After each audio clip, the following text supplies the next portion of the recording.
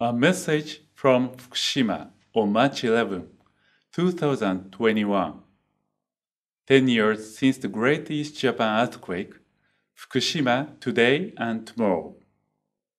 It has been 10 years since that day. The day when an earthquake, tsunami, and nuclear disaster drastically changed our beautiful and peaceful hometowns. We experienced the pain of separation from our loved ones and the fight against invisible radiation. Children who evacuated and attended temporary school have now grown up to become adults. On the other hand, there are also children who are still missing and their souls cannot return to their hometowns. Looking back on all these years, I think to myself, ten years have passed already, yet also it has only been ten years. It was my first time visiting our family grave this summer at the age of 10. I shared my memories with my daughter for the first time this summer. For 10 years, we have fought against the division of communities, harmful rumors, and discrimination and prejudice in the aftermath of the nuclear disaster. Now, in 2021, the world is facing a catastrophe caused by an invisible virus. Being deprived of freedom and a sense of peace, people around the world are feeling anxious and suffocated. Not only Fukushima, but also the entire world is facing challenging times. As with 10 years ago, we can no longer take our normal lives for granted and I cannot help but to rethink about what is truly important. That day, when the tsunami came, we were unable to grab people's hands and save them from being swept away by the waves.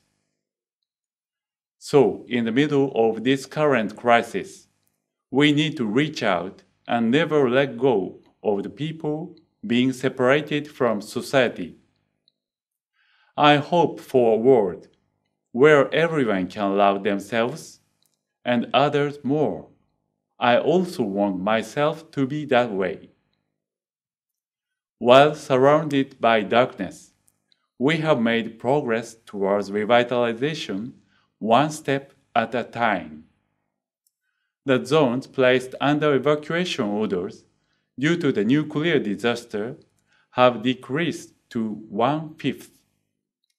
Roadways and railways have reopened, and schools and hospitals restarted, gradually calling back those who have evacuated.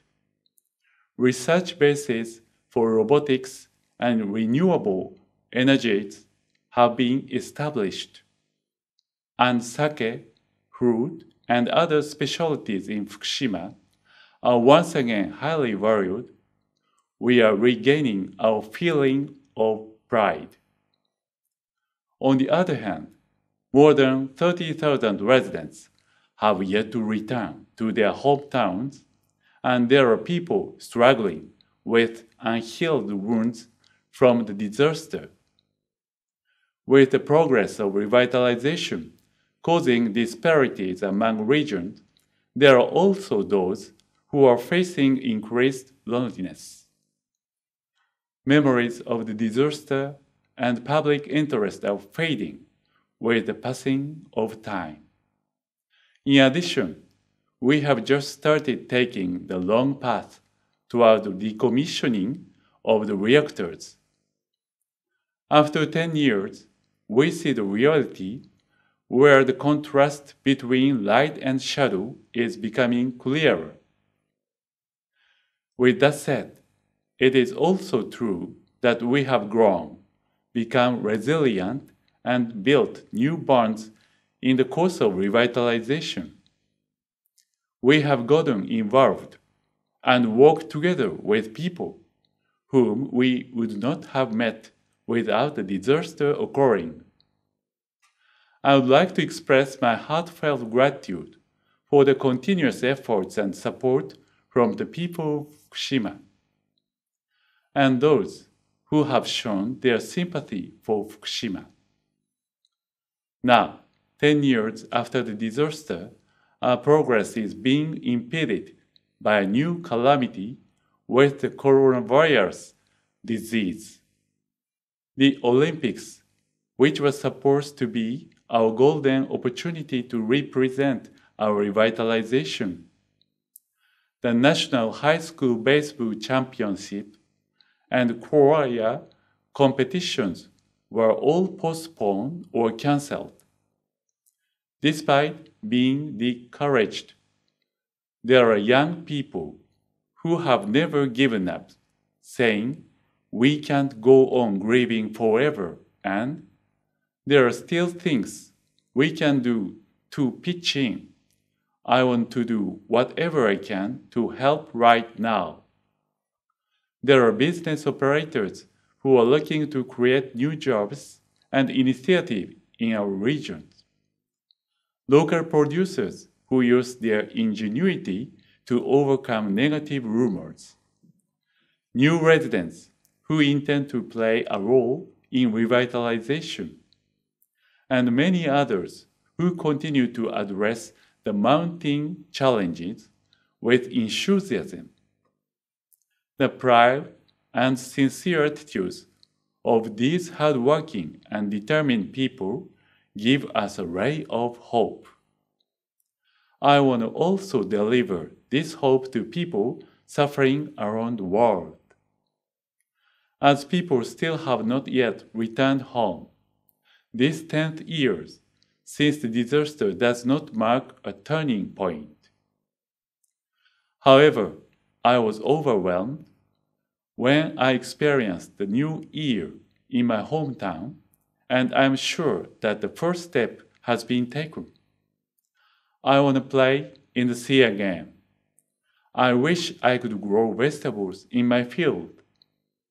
I hope my family can live together again. I want to meet my friends in my hometown. There are many different wishes for revitalization among people, from children to the elderly. At the center of these desires, there is a shared wish for revitalization where everyone supports each other, keeps moving forward toward the future, and feels true joy and happiness.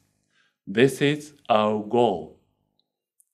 Our hearts have become stronger as we try to overcome the once in a thousand years earthquake, tsunami, and ensuing nuclear accident.